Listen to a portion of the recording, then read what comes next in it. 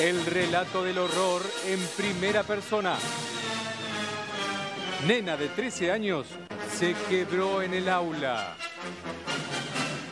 A mí me violan todos los días.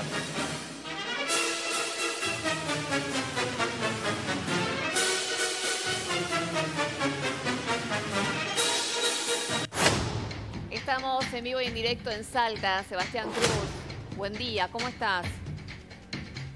A ustedes, pero lamentablemente otra noticia aberrante, impactante. No tenemos ya adjetivo para describir lo que sucede en Salta, ¿no? Otro hecho que tiene que ver también con un abuso sexual, que tiene que ver con una menor de 13 años. Esto es en Tartagal, en una misión chorote allí.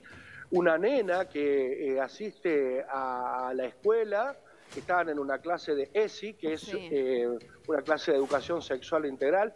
Bueno, y es allí donde se quiebra casualmente con las maestras y les dice, a mí me pasa eso todos los días. Primero, no sé, todo el mundo asombrado, ¿cómo que te pasa así?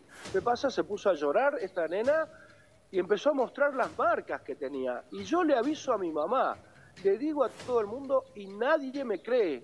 Mi padrastro me viola todos los días. Esa fue la frase tremenda. Inmediatamente, como, se- como marca el protocolo, la escuela hace la denuncia en la policía.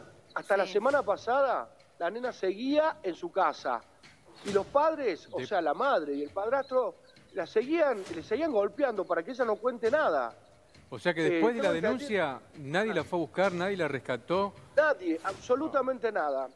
Pero cuando se hizo mediático esto, este fin de semana, empezaron a saltar, lógicamente, las voces críticas también acerca de estos protocolos de violencia infantil y también del Ministerio de la Mujer para que se hicieran cargo, ¿no? Estamos ver, hablando de Sebastián. una nena Estamos hablando de- Sí. hasta incluso del sentido común. Una nena de 13 años que en la escuela dice que la violan todos los días, que la golpean y que la amenazan y Que que, ya habló con su familia y que nadie, nadie le cree, no puede volver a la casa. Pero es, es sentido común, no puede volver a la casa. Y volvió a la casa y no solo eso, sino que ahora ¿dónde está la nena? ¿Sabemos eso? Supuestamente está en una casa cuna donde eh, va a permanecer hasta que se investigue esta, este hecho tremendo. Eh, bueno, el padre, lógicamente, el padrastro en realidad está en la mira. Pero no lo detuvieron, nada todavía. No, hasta el momento. ¿En la mira de quién es está? la- ¿Dónde de la está? justicia, supuestamente.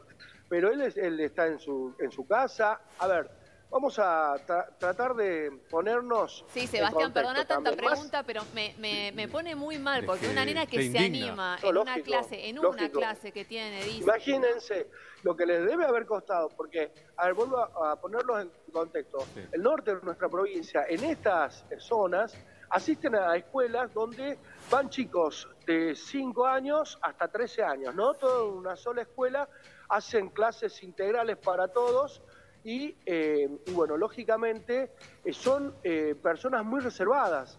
Y es muy difícil, tiene que ser mucho para que Claro. eh, una nena o alguien cuente una situación de esta, en principio. Segundo, hablamos de una misión chorote, casualmente, que eh, si bien la justicia tiene injerencia, estamos hablando de un abuso sexual, más allá de la cultura, más allá de todo lo que uno puede pensar que sucede dentro de estas misiones, de estas, colonias, la justicia tiene que actuar porque acá hay alguien que está acusando directamente y con pruebas, porque incluso tiene marcas en el cuerpo de la que la golpean y demás. Sebastián, bueno, no, sin eh, embargo, no se actuó de manera inmediata. ¿eh? Sebastián, eh, eh, por tu relato, no solamente el padrastro, sino que también estaría implicada la mamá como cómplice. La madre. Porque Bueno, la madre como situación- entregadora, que no la escucha a su nena en la denuncia que hace todos los días, que tiene marcas.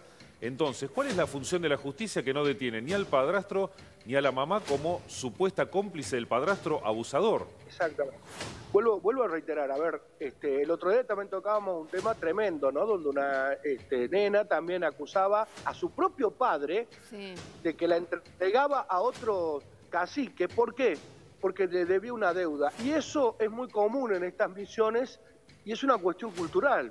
La verdad que no se entiende, pero nosotros no lo entendemos. Aún así hay un delito en el medio también que dentro de lo que es la República Sí. Argentina, todas las colonias, todas este, las etnias y demás que viven en nuestro país tiene que este, asimilar las leyes. Bueno, en este caso, también el cacique que abusaba de esta nena, que era entregada por su propio padre, huyó hacia Bolivia, ¿no? Le dieron, tiempo. fue hace dos meses aproximadamente. te agradecemos el contacto eh, todos los días. Lamentablemente estamos dando cuenta en Salta de este tipo de situaciones donde es importante eh, las clases donde los chicos pueden entender qué es lo que les pasa, pero después fallan todos los protocolos.